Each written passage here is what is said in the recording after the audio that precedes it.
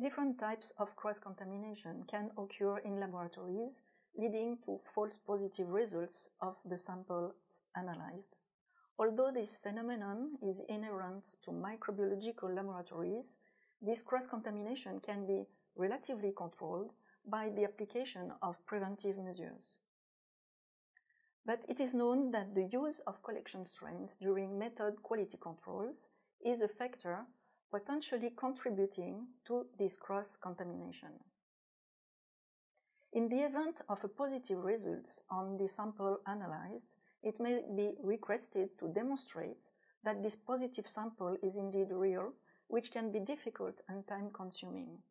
Better control of cross-contamination can also be favored by the use of standardized and ready-to-use collection strains, which would, moreover, be easily identifiable and distinguishable from wild-type target strains. Indeed, the use for quality control of ready-to-use collection strains limits the risk of causing cross-contamination. Moreover, if these collection strains are genetically modified and therefore easily distinguishable from the target strains, it will be easier to confirm that a positive result obtained on a sample does not come from cross-contamination with these collection strains. The objective of this webinar is to explain the context of the collection strains, to present the new BioBall-Luminate 2.0 strains and their possible use during controls in food laboratories. In addition, we will discuss about their advantages for better controlling the risk uh, of cross-contamination and facilitating the confirmation of analysis results. This presentation describes the context of the collection strains use, the new BioBall-Luminate 2.0 strains, the BioBall-Luminate 2.0 uh, possible uses during controls in food laboratories, and the BioBall-Luminate 2.0 advantages. The use of collection strains uh, at lab. The ISO 70, uh, 17025 is the standard for laboratories to demonstrate their competence and their ability to produce valid results and to obtain international accreditation and recognition. To perform this demonstration, laboratories are required to use control strains, generally coming from well-known collection of microorganisms such as ATCC and NCTC, etc. For this, they rely on standards such as ISO 11133, describing procedures for testing the performance of culture media, which required spiking with well-calibrated strain suspensions. Calibration can be a low or precise count, for example, when media are specifically for enumeration.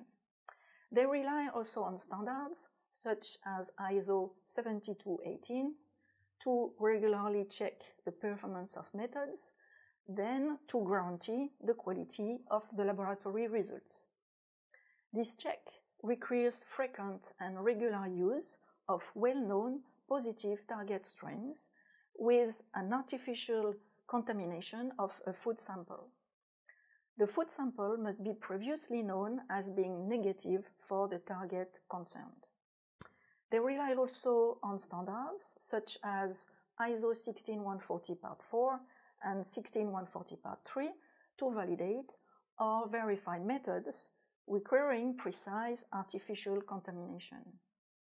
Also on ISO 17043, in particular for the evaluation of laboratory performance during intercomparison tests provided by external organizations or central laboratories corresponding to blind tests for labs to evaluate their methods, technician, etc.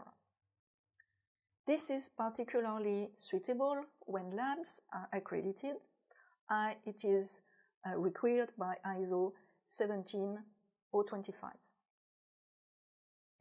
Now the risk of cross-contamination. A contamination can be defined by an, an unintentional transfer of microorganism from one place or object to another place or object Contamination in a food production facility can come from various sources, including via deficiency in strict hygiene conditions and the lack of monitoring of quality indicators.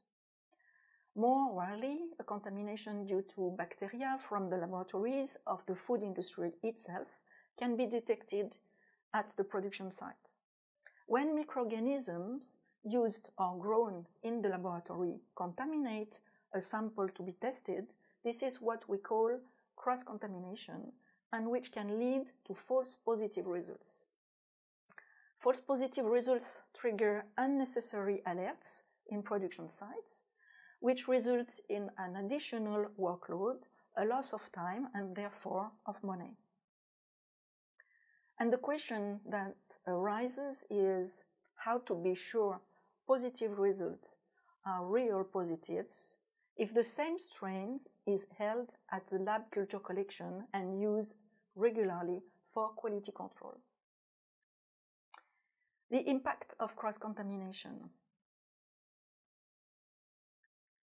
To demonstrate that a positive is really a positive and not due to laboratory contamination, it will be necessary to implement complementary analysis for confirmation, to investigate the root cause, to implement an action plan, etc., leading to additional lab workload and cost. Indeed, it may be necessary to delay the release of manufactured stock while waiting for the results of the additional investigation. Investigation leads to an increase in storage costs and sometimes to significant costs linked to product waste when they have, for example, a short expiry date or when the confirmation is not conclusive. What are the solutions to detect cross-contamination? When there is a suspicion of cross-contamination or it is requested to ensure that the positive obtained is not due to contamination of the laboratory, a certain number of analyses must be carried out, such as retest or sequencing of the strain isolated. Solutions exist to limit the impact of cross-contamination in the laboratory, for example, with the use of specific strains in replacement of classical collection strains for quality controls. This may be strains rarely or never encountered in the types of food tested, but it will still be necessary to confirm again the result is the event of a positive link to this strain. It can also be strains that are detectable and easy to distinguish, distinguish from nat real natural contaminations of the food product, like genetically modified strains. So now what are, um, what are bioballs? Bioballs are small freeze-dried water-soluble balls containing a precise number of viable microorganisms. These lyophilized strains are accurate and precise in number of cells. They are also efficient and reliable, meaning that their performance and characteristics are consistent between one batch to another and one viable to another. They are widely used in particular for growth promotion tests and various antimicrobial efficacy tests or other quality control or method validations. They are presented in a small glass tube with a secure cap, which is particularly safe and easy to use. They require no time consuming preparation or culture, thus limiting the risk of cross-contamination. Bioballs are manufactured under a patented cytometry technology and proprietary techniques in order to select and dispense individual cells within a culture and count them into a single droplet. They have a long shelf life and high recovery rate. Our production site in Australia is accredited as a certified reference material, producer under ISO 17034 by NATA, the National Association of Testing Authorities in Australia, and include a certificate providing each unit's value and associated uncertainty, as well as a statement of methodological traceability. The standard uh, range. So the classic BioBall range includes more than 100 references available in different presentations. So the single shot presentation in a dose of 30 CFU with a mean between 28 and 33 CFU, meaning generally a standard deviation of 3 CFU or less.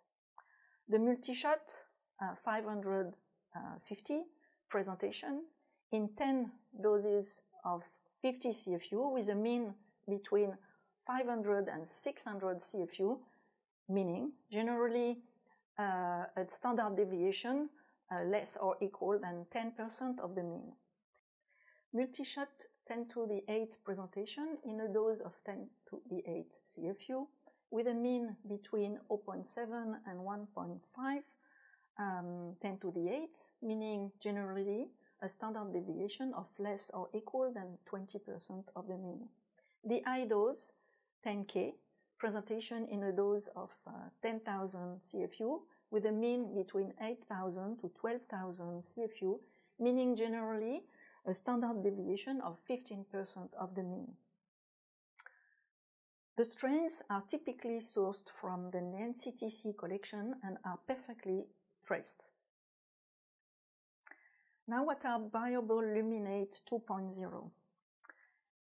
The BioBall Luminate 2.0 benefits from the same characteristics and quality as the classic BioBall range.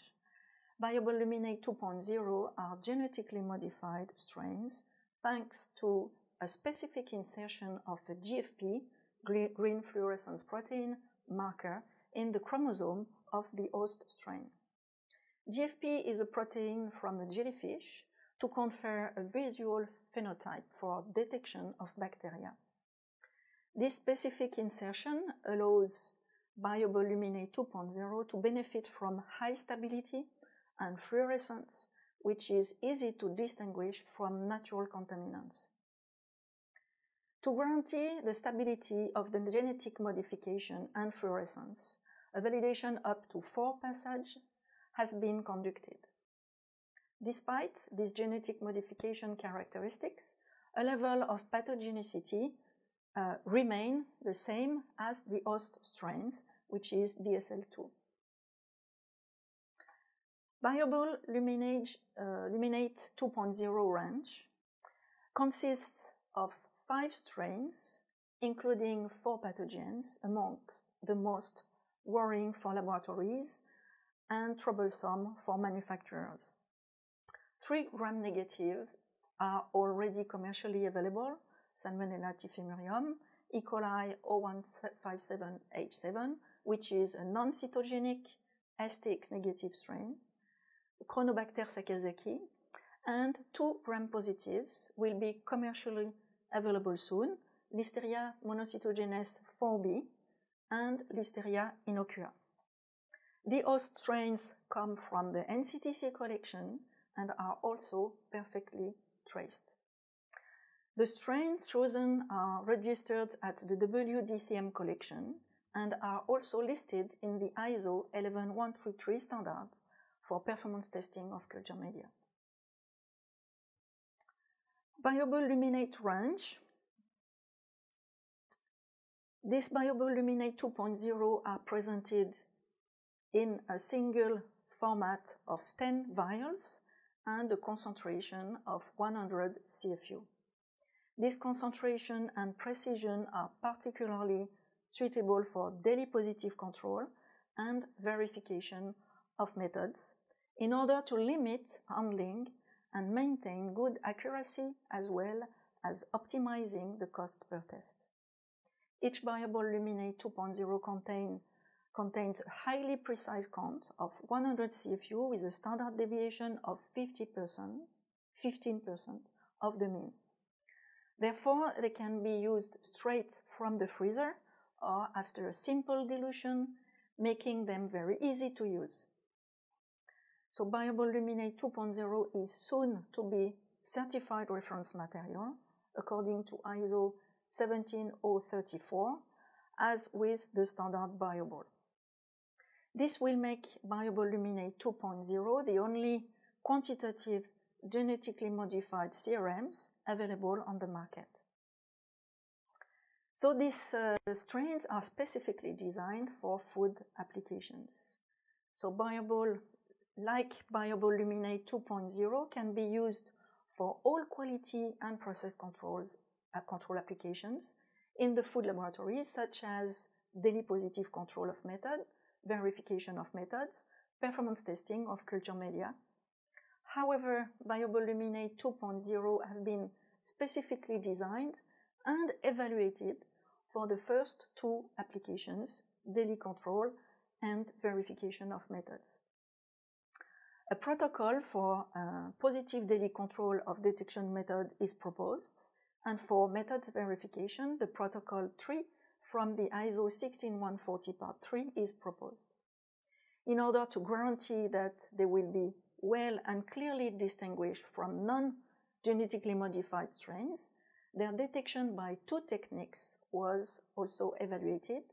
For easy and rapid PCR confirmation, Invisible Sentinel kit running on VeriFlow platform to detect specifically GFP strains was evaluated directly from various enrichment broth of the most sensitive bioMérieux detection methods. For easy confirmation from isolated colonies on various solid culture media, reading of the fluorescence under UV light was also evaluated. These two confirmation techniques give the choice to laboratories to use the most appropriate method to confirm that food sample positive results are real contaminations and not cross-contamination from the BioBall Luminate 2.0 collection strains though it is indeed necessary to discontinue use of non-GMM collection strains of the same species for the quality control operations in the same laboratory. So now the food application protocols. Uh, the proposed protocol for positive daily control is similar when using BioBall Luminate 2.0 as when we're using a standard BioBall or culture. The selected food sample must be tested and confirmed negative for the targeted microorganism prior the inoculation, prior to the inoculation with the BioBall Luminate 2.0 control strain.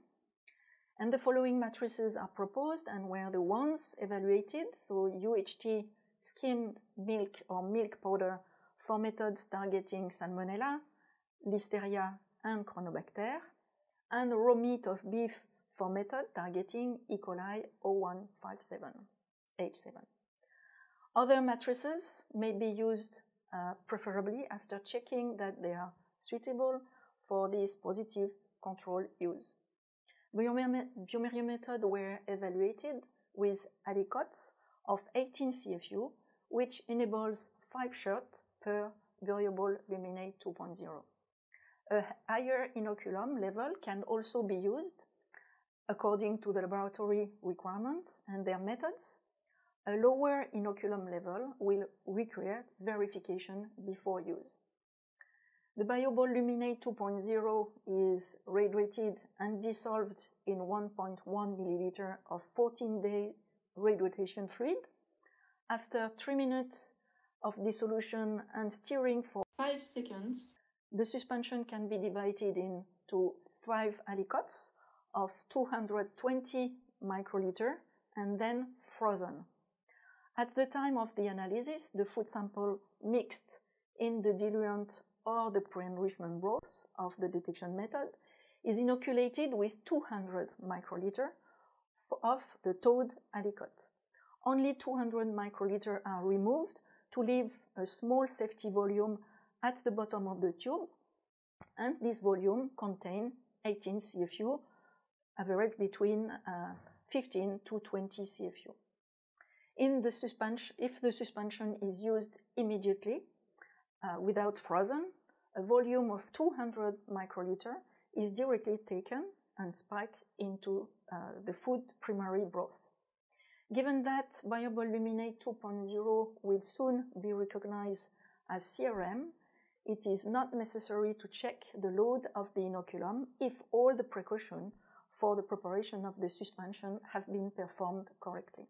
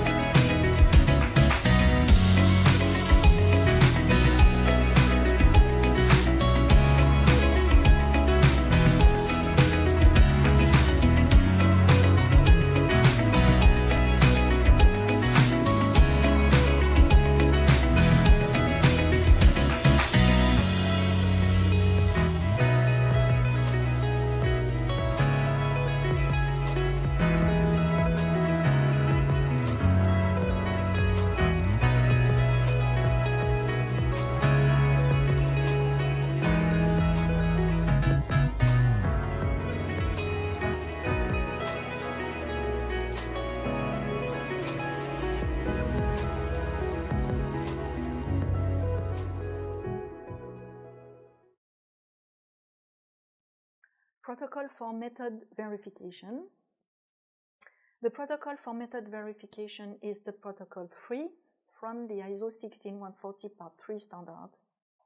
One BioBall luminate 2.0 of 100 CFU is rehydrated and dissolved in 9 milliliter of Peptone salt broth.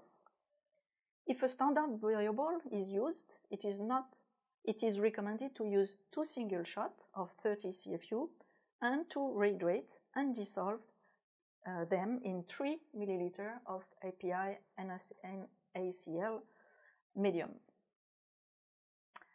As required by the ISO 16140 Part 3 standard, a verification of the inoculum load is necessary to determine the volume to be used to artificially contaminate the initial suspension in 7 replicates and to have a load between 3 to 5 CFU. So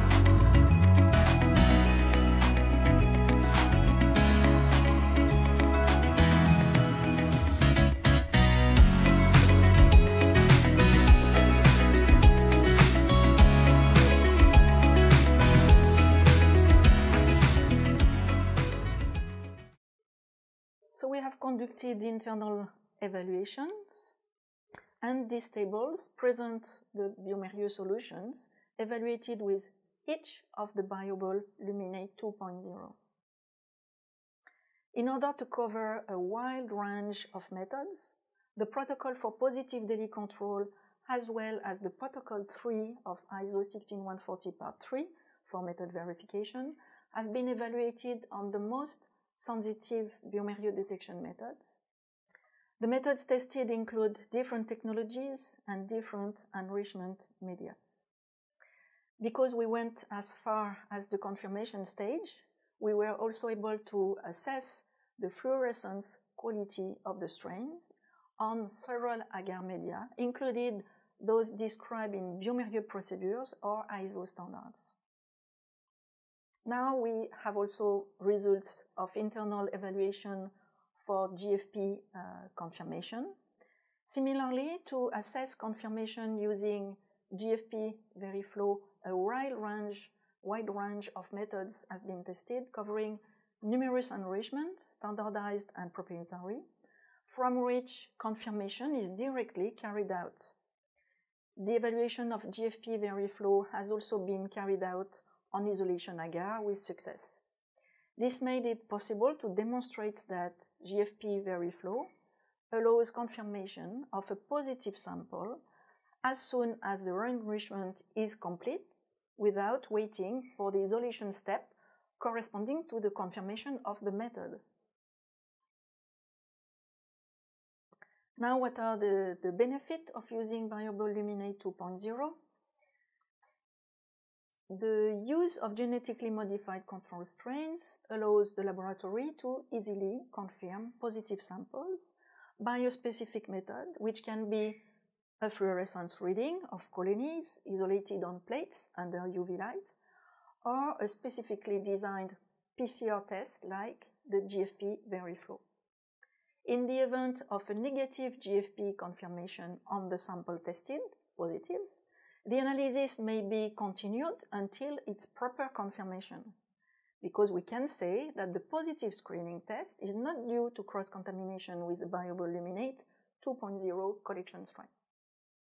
In the event of a positive GFP, confirmation of the sample tested positive, the analysis can be stopped. Indeed, in this case, there was cross-contamination with the collection strains BioBall Luminate 2.0, leading to the positive screening. But since it is not certain that the sample is not also naturally contaminated, it is necessary to redo a GFP confirmation test from the enrichment or from a new subculture of the enrichment or even to repeat the analysis of a new sample. This is to ensure that the sample is not also naturally contaminated. By using BioBall Luminate uh, 2.0 for control process applications, food industrials have the possibility to verify that no false positives are released due to cross-contamination. There are some conditions for the use of genetically modified microorganisms. So labs using genetically modified strains must no longer hold and use the non-genetically modified strains equivalent of the same species in the same area for quality control operations. Same rules and precautions as conventional strains should be respected for the use of BioBall Luminate 2.0. If they are not already evaluated, genetically modified uh, microorganisms should be evaluated beforehand to demonstrate that they are suitable for the chosen application. So agreement for the use and handling of genetically modified microorganisms. The use and handling of genetically modified strains may require, require approval from a competent authority in some countries where legislation exists. This regulation applies to laboratories. bioMérieux reminds you that BioBall Luminate 2.0 is a range of genetically modified microorganisms and may need to comply with special regulatory requirements for a laboratory contained use in your country. For example, the European directive which is completed by national regulation. In this case, so please refer to your local competent authority to declare or obtain an agreement before use.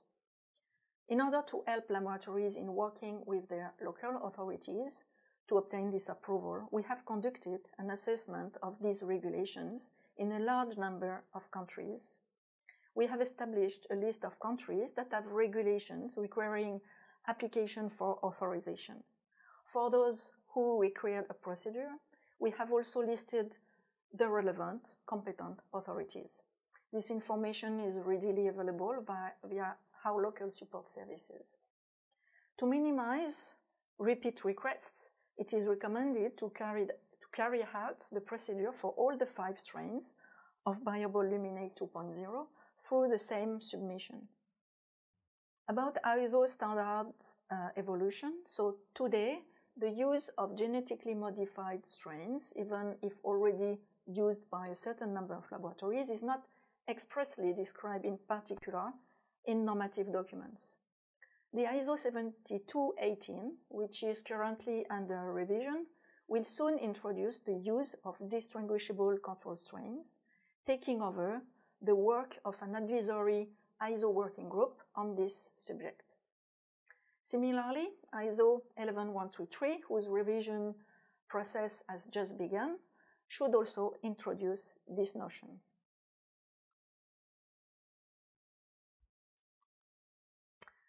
So to conclude, uh, the BioBall and BioBall Luminate 2.0 are unique products in their design, precision, accuracy, consistency, and performance. BioBall Luminate 2.0 benefit from a brilliant new concept combining the qualities of BioBall with high quality genetic modification. BioBall Luminate 2.0 can advantageously replace classic collection strains and make it possible to limit the risk of reporting false positive results for these important pathogens. The possible use of two widely evaluated confirmation methods give laboratories the flexibility to quickly and easily confirm the absence of cross-contamination in their samples. The BioBall Luminate 2.0 range encompasses these five strains of particular interest but can also be associated with non-genetically modified BioBall. Easy to use, they have their place in food laboratories and they make it possible to understand quality control in a new and simple way. Thanks for your attention.